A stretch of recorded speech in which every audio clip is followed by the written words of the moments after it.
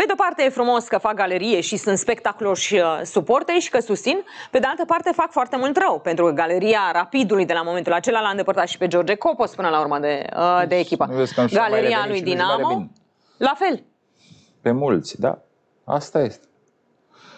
C- Când au fost, uh, au avut perioadă când s-au ocupat și ei de conducere și au văzut. Nu cred că acum greu mai o să mai huid eu sau o să mai înjure vreun uh, acționar sau un potențial investitor.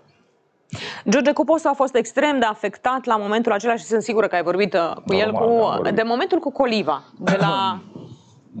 Ce să mai... Nu are... E un lucru dureros pentru că cele mai mari rezultate Copos le-a avut. Cei mai mulți bani Copos le-a avut. Eu, după un meci, da, să vedeți, cu, m, câștigăm, eram pe primul loc, câștigam în, uh, în, uh, în regie și eram cu Patrick de mână. Și pe mine mă uitau, mă înjurau datorită lui Dănciulescu, că l-am, când l-am apărat. Și... Asta e.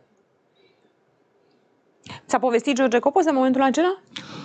Ce să mai îmi povestească? Mi-a povestit, îi dădeau lacrimile când vorbea. Da, a Ca și plâns și acolo, la Da. da. Curtea de Apel, cred că a avut loc. Cum? Practic, Rapid a fost uh, copilul lui.